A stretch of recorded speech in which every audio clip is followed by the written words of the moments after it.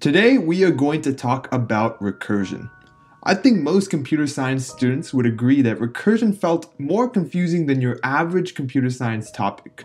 In this video, I'm going to show you 5 simple steps that you can use to help you tackle any recursive problem. And hopefully, these steps will help you realize that in reality, recursion isn't actually that bad. I'm going to show you how to apply these steps in the context of solving three specific recursive problems, each of them progressively more difficult than the last, so make sure you stick to the end of the video. And as always, I think you'll get the most out of this video if you take the time to pause and ponder some of the problems that we worked through and the steps we went through to solve them. So, without further ado, let's get started. Suppose we want to solve the following problem recursively. Write a function that given an input n, sums all the non-negative integers up to n. Here's a couple quick examples of inputs to this function to give you a sense for what we are trying to implement. A lot of you may have seen an iterative version of this function or even a mathematical version of it that we went through in a previous video. But if you had to solve it recursively, how would you do it? Recursion is all about taking a problem and solving it using simpler versions of the problem. So the first step in solving a recursive problem requires you to ask yourself, what's the simplest possible input for the function? Here, the simplest possible case is n equals 0, where we know that the result should also be 0. The simplest case often translates itself into a base case for our recursive problem. The base case of a recursive function is the only input where we provide an explicit answer. All other solutions to the problem will build on the base case. The second key step to solving recursive problems is trying examples and visualizing how the inputs and outputs of these functions interact. In this problem, one fun way to visualize things is to treat our sum as building a triangle with the base as the input value. That way, our sum is the total number of individual blocks in this triangle. You can try as many examples as you want. Once we have a set of examples, we now want to move to the third step, which involves relating larger examples to smaller examples. Take a second to see if you see any relationships between the cases here that pop out to you. Put in more specific terms, with these examples, ask yourself hey, if I was given the answer for the n equals 4 case, could I solve the n equals 5 case? If I was given the answers to the n equals 3 case, could I solve the n equals 4 case? One interesting relationship that you may have noticed is that if we know the answer to the n equals 4 case, all we need to do is add 5 to this answer to get the solution to our n equals 5 case. And similarly, if we know the answer to the n equals 3 case, we can get the answer to the n equals 4 case by adding 4. And it's not too hard to convince yourself that this should be true in general. But if necessary, feel free to try some larger cases to verify. This now brings us to the fourth key step, which is to generalize this pattern. Let's say we want to figure out the sum for the input n equals k.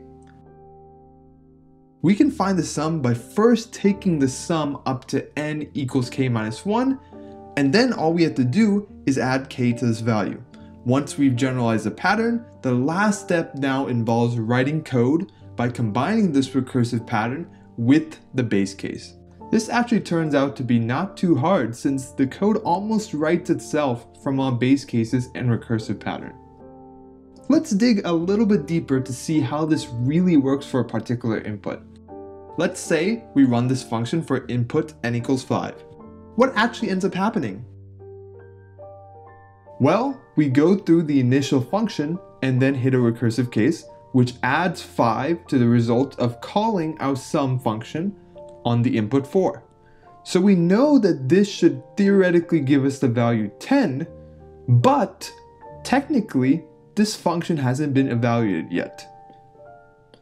What actually ends up happening is we have to go back into our function and repeat the process.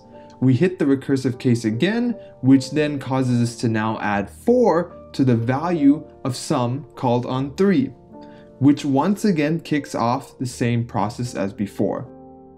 Let's take a moment to see how this unravels.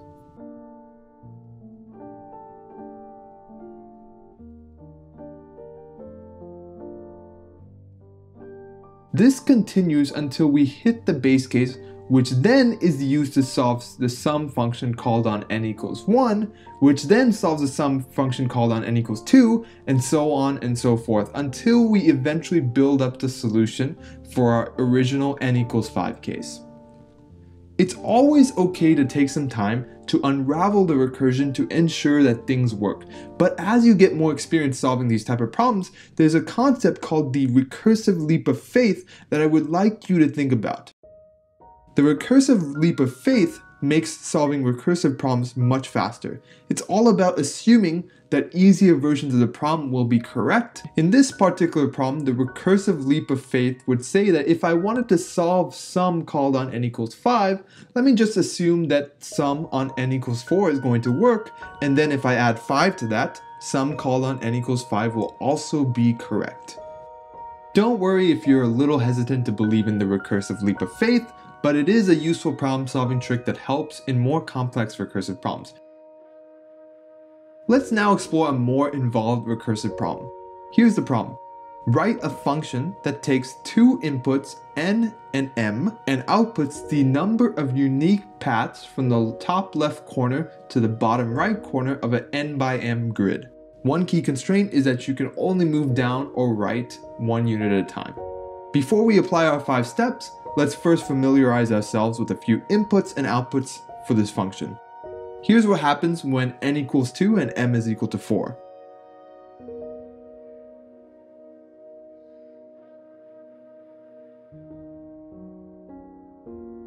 We end up with exactly 4 paths.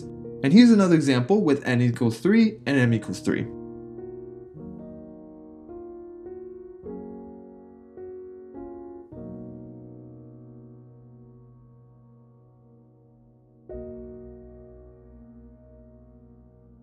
We end up with six unique paths. Alright, let's begin. Let's play around with some simple inputs and see what happens. The simplest possible reasonable input to this function is a one by one grid where we end up with exactly one path. If we actually take a second to try some other simple inputs, you might notice something interesting.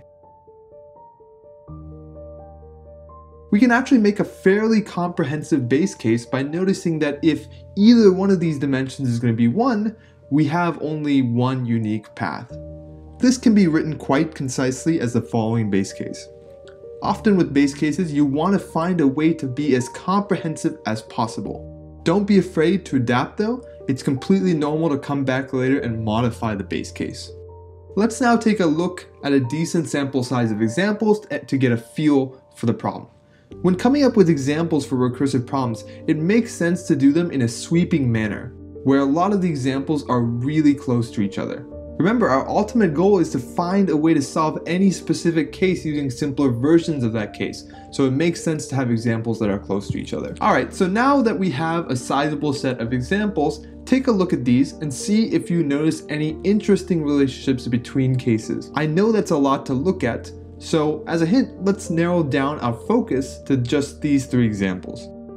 Do you notice anything? How about now?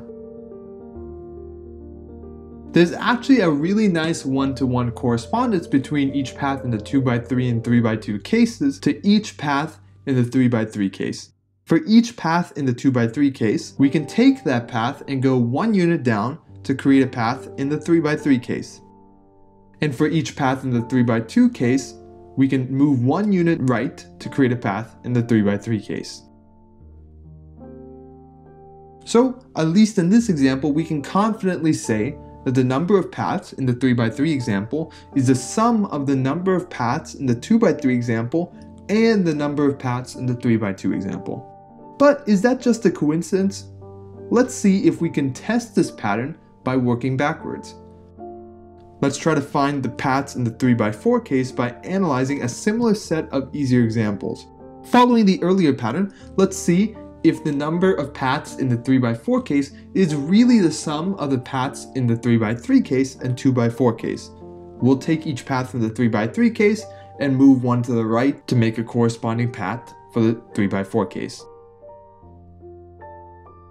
And then we'll take each path in the 2x4 case and go one step down to make a path in the 3x4 case. And it turns out that the set of paths that are created from this construction end up being all the unique paths through a 3x4 grid. Take a second to verify this for yourself if you're skeptical.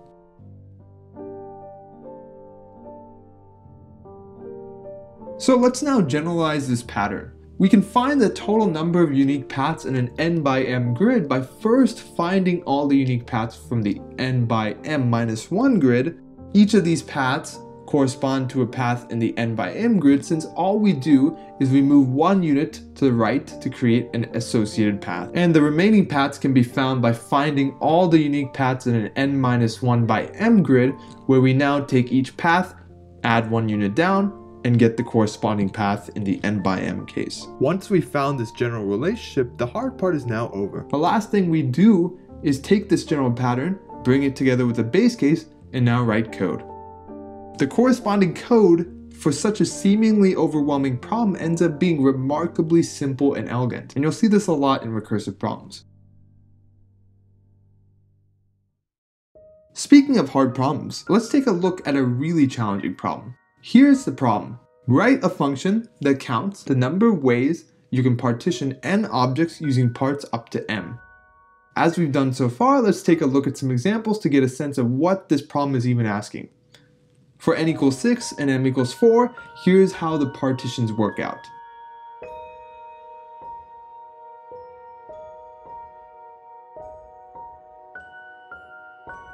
We end up with a total of 9 unique partitions.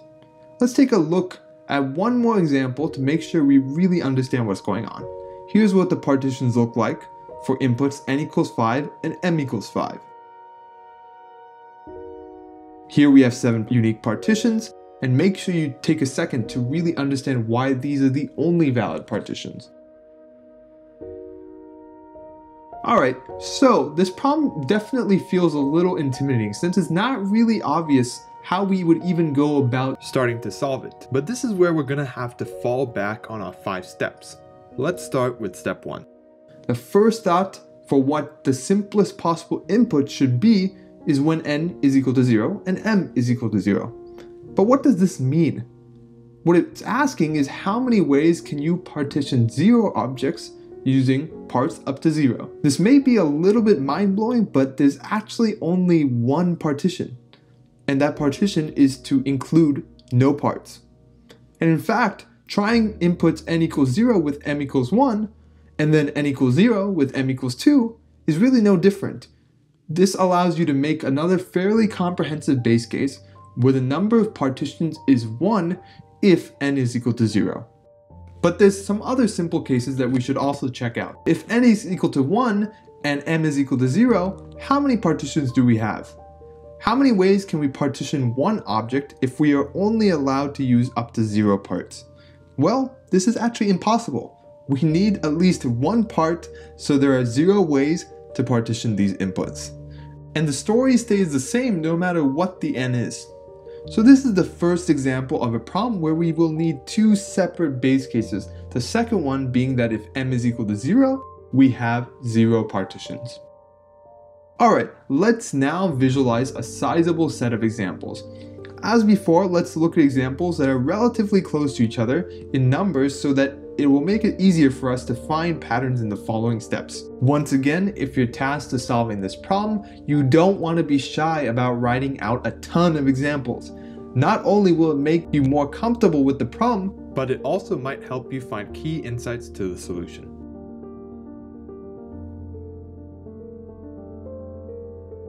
So now that you have a good set of examples, take a moment to see if you notice any interesting relationships among the partitions. Feel free to pause the video. If you're struggling to find anything, let's narrow our focus to a subset of these examples. Alright, so the first interesting thing you might have noticed by looking at these examples is that a lot of the partitions on the larger problems are repeated in the easier version of the problem. Isn't that a little bit wild? These are the types of patterns that show up a lot in these types of recursive problems, and we definitely want to see if we can verify if this holds for larger examples. Let's take a look at the n equals 7, m equals 4 case. We have a total of 11 partitions. So going off our previous example, we're expecting all the partitions of n equals 7, m equals 3 to show up in these partitions. And in fact, when we go through the partitions, we indeed find that all 8 partitions from the n equals 7, m equals 3 case show up in the n equals 7, m equals 4 case. How in the world does that work? What crazy sorcery is going on here? The reason this happens is actually surprisingly simple. If you take a moment to think about it from a perspective of how you are actually creating these partitions, you'll get an intuitive sense for why this is the case. When you're trying to partition 7 using parts up to 4, at some point this is going to include all the partitions of 7 using parts up to 3. There's just no other way around it. More formally, we can assert that the partitions of n using parts up to m minus 1 is a subset of the partitions of n using parts up to m. Okay, so this seems like a pretty good start. We now know that a subset of the partitions of n objects using parts up to m can be found from the simpler problem of partitioning n objects using parts up to m minus 1. But what about the remaining partitions? Where do these partitions come from? Let's analyze these cases. What do they all have in common? Do you see it? They all happen to use the actual m value as part of each partition. And this should make sense because the subsets that we removed were partitions of n using parts up to m minus 1, so the partitions that are left here that use m represent the only other case.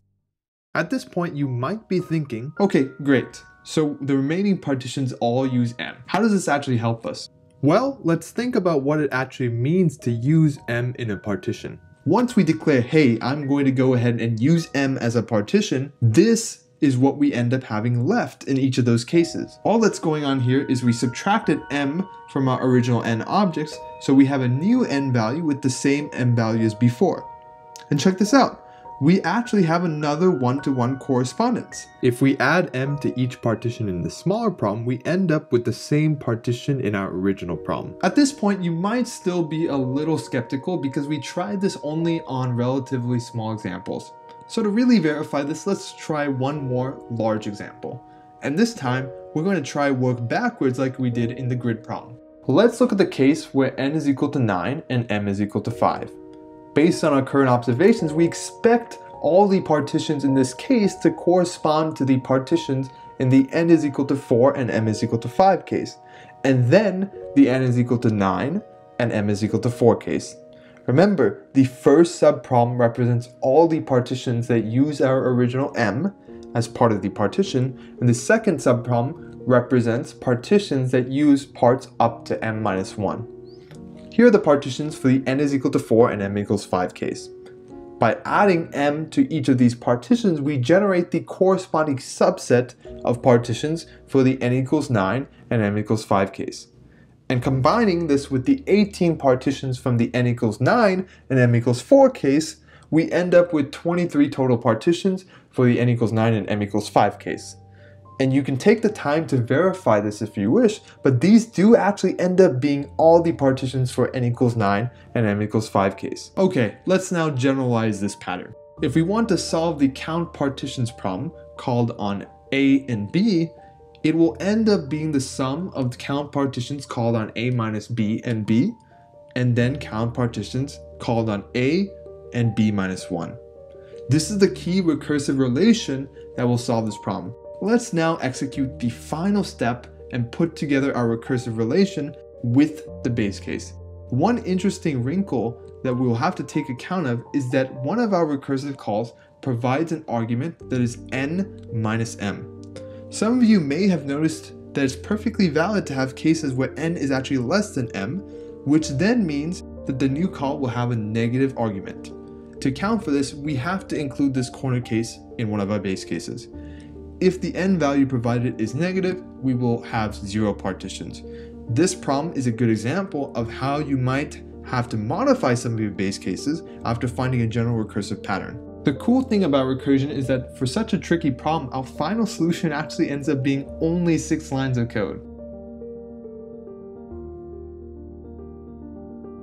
So, to recap what we did in this video, we went over 5 key steps to solve any recursive problem and then went about applying these steps to 3 problems of various difficulties. You learned the importance of starting simple and asking yourself what the simplest possible case is. You found it helpful to work through some examples to get a sense for what the recursive problem was asking. You also went about relating hard examples to easy examples to find a generalizable recursive pattern.